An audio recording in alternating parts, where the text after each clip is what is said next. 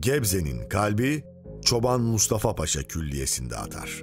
Külliye, Yavuz Sultan Selim ve Kanuni Sultan Süleyman'ın vezirlerinden Çoban Mustafa Paşa'nın emriyle yaptırılmış. Türk süsleme sanatının tüm özelliklerine sahip bu tarihi şehir minyatürü, cami, medrese, kervansaray, paşa odaları, hankah, bimarhane, han, hamam, imarethane, kütüphane, su kuyusu, şadırvan ve türbe gibi her biri eşsiz yapılar topluluğundan oluşmaktadır.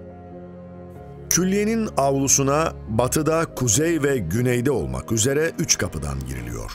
Külliyenin batı tarafındaki giriş kapısının üstüne inşa edilmiş kütüphane, bir zamanlar araştırmacılar için çok önemli bir yapıydı. Gebze tam bir vakıf şehridir. Sultan Orhan Gazi'den günümüze çok sayıda vakıf kurulmuştur.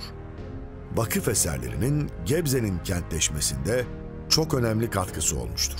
İşte o vakıf eserlerinden bazıları.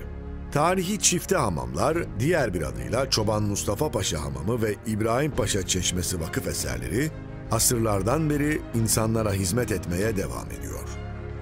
Çarşı Hamamı'nın karşısında bulunan Vakıf Medeniyeti Abidesi Tarihi Çeşme, Sadrazam Köprülü Mehmet Paşa'nın veziri İbrahim Paşa tarafından 1664 yılında yapılmış. Suyun akışı yazı çayırındaki tarihi su dolabından terazi sistemiyle sağlanan çeşmenin kitabesi vakıf medeniyetinin taşa vurulan mührüdür.